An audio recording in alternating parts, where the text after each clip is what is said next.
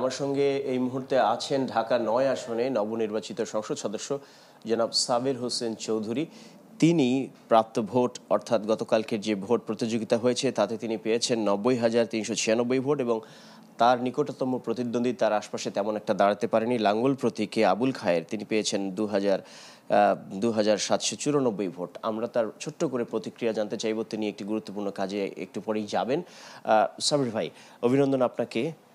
সংসদ সদস্য আবারও নির্বাচিত হওয়ার জন্য প্রথমেই আপনার প্রতিক্রিয়াটা জানতে চাই।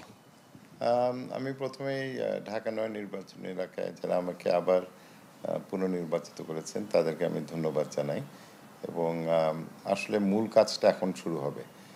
নির্বাচনে তো আমরা আমাদের পরিকল্পনা নিয়ে মানুষের কাছে যাই, তাদের যে সমস্যাগুলো আছে, তাদের যে প্রত্যাশাগুলো আছে, সেগুলো পূরণ করার চেষ্টা করার অঙ্গীকার করি। তো এখন আসল কাজ শুরু হচ্ছে। এবং যেহেতু মানে পরপর কয়েকবার এমপি নির্বাচিত হলাম, মানুষের সেই আস্থার জায়গাটা তৈরি হয়েছে। সুতরাং চ্যালেঞ্জটাও সেইভাবে আমাদের মাথায় রাখতে হবে এবং আমরা যে কথাগুলো বলেছি, আবারও প্রমাণ করতে চাই যে আমাদের কথা এবং কাজের মধ্যে মিল আছে। এটা মনে করা হয় সাবের হোসেন চৌধুরী এমন একজন মানুষ যার আন্তর্জাতিক অঙ্গনে একটা শক্ত যোগাযোগ আছে। আপনি জানেন যে এই নির্বাচনের আগে পশ্চিমাদের অনেক দৌড়ঝাঁপ ছিল। অবশেষে নির্বাচনটা হলো অনেক অনিশ্চয়তার পর। এখন এই নির্বাচন হওয়ার পরে আওয়ামী লীগ যখন দুশোর বেশি আসন পেল তাদের জোট সহ তো এক ধরনের এক পেশে বিজয়, বিশাল বিজয়। এই অবস্থায় এই সরকার সামনের দিকে এগিয়ে যাওয়ার ক্ষেত্রে কি ধরনের চ্যালেঞ্জগুলো সামনে আসতে পারে বলে আপনি মনে করেন? দেখেন একটা তো হচ্ছে পরিসংখ্যানের হিসাব যে আওয়ামী লীগ কয়টা আসন পেল।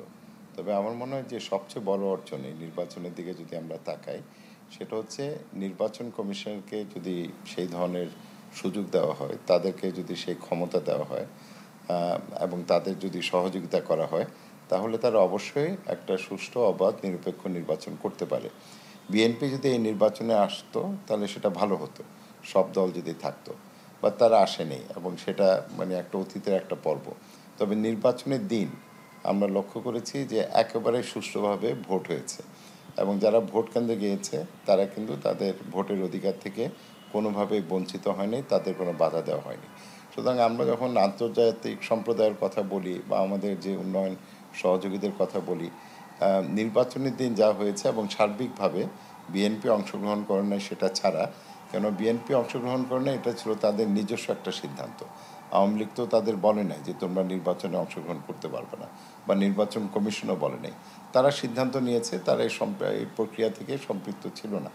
সুতরাং নির্বাচনের দিন যেভাবে নির্বাচনটি আপনার সার্বিকভাবে পরিচালিত হলো এবং নির্বাচন কমিশন প্রথমবারের মতো আমি মনে করি যে সিদ্ধান্তগুলো নিয়েছে। ধরেন ওসি ডিসি এসপি তারা কিন্তু যাদেরকেই বলেছে তাদের ট্রান্সফার করা উচিত, পরিবর্তন করা উচিত, সরকার সেটা করেছে। তারা সেনাবাহিনী চাইলো, সরকার কিন্তু সেখানে সেনাবাহিনী দিয়েছে। সো আগামী দিনের জন্য কিন্তু এটা একটা মডেল যে নির্বাচন কমিশনকে যদি আমরা সত্যিকার অর্থে সেই ক্ষমতাটা দেই এবং সরকারের মধ্যে যদি আন্তরিকতা থাকে, তাহলে বাংলাদেশেও আমরা সুষ্ঠু, অবাধ, নিরপেক্ষ নির্বাচন করতে পারি এবং এটা সারা বিশ্বের জন্য আমি মনে করি খুবই গুরুত্বপূর্ণ একটি বার্তা। ছোট্ট করে দুটো প্রশ্ন করে শেষ করব। আপনি বলছেন যে একটি সুষ্ঠু নির্বাচন যেহেতু হয়েছে এটা একটা ইতিবাচক। এর কোনো কোনো বিশ্লেষক মহল মনে করছে যে নির্বাচনের পর নিষেধাজ্ঞা বা অন্য ধরনের চাপগুলো আসতে থাকবে। আপনি কি সেটা মনে করেন? না আমি সেটা মনে করি না। এবং দেখেন কোনো দেশ যদি কোনো সিদ্ধান্ত নিতে চায় এটা তাদের মানে তাদের সিদ্ধান্ত সেই সিদ্ধান্ত নেওয়ার এখতিয়ার আছে। তবে আমার মনে হয় আমরা যদি বিদেশি পর্যবেক্ষকদের কথা শুনি যারা ইতিমধ্যেই নির্বাচন মনিটর করেছে, সকলে কিন্তু বলেছে যে এটা একটা শান্তিপূর্ণ একটা সুষ্ঠু নির্বাচন ছিল। সুতরাং তারপরে যদি কেউ কোনো ধরনের নিষেধাজ্ঞা আরোপ করতে চায় সেটা তো খুবই দুঃখজনক হবে এবং আমি মনে করি না এই নির্বাচনের মাধ্যমে তার কোনো যুক্তি তার পক্ষে থাকবে। সবচেয়ে ছোট্ট করে যদি বলেন, এগারোটা আসন পেয়েছে জাতীয় পার্টি আর স্বতন্ত্ররা হচ্ছে উনষাটটা এই অবস্থায় সংসদে সত্যিকারের বিরোধী দল আসলে কে হবে?